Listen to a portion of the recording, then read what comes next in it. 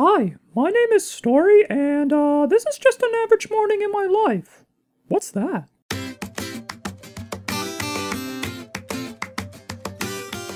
So, after a long night of hogging the covers, uh, and pretty much the entire bed if I'm honest, I'm usually the last one up.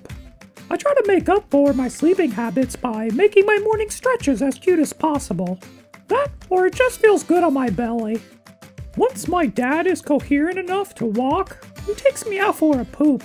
Just between the two of us, I think my dad has a problem.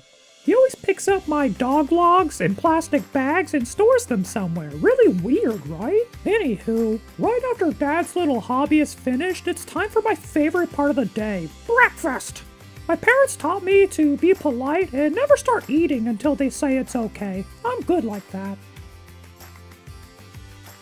My mom goes to work every day, whatever that is, but before she goes, I like to give her a snoot. It makes her happy, and I get a bunch of pets, so I guess it's a win-win. See you soon, Mama! After a hard couple of hours eating, pooping, and snooting, it's time for a good nap. I keep Dad company in his office while he sits at his desk staring at a couple of windows for a few hours. I don't know why he thinks they're more entertaining than me. Hey! Where are you going, Dad? Where are we going?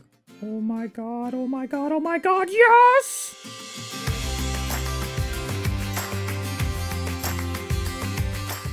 Hmm. Well, guys, I hope you enjoyed a look at an average morning at my house. Hmm, hmm, hmm. I've got to go finish this, so uh, I'll see you all later.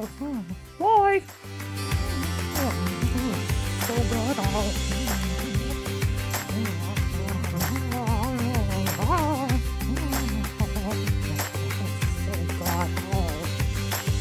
Tastes like A without all the fat.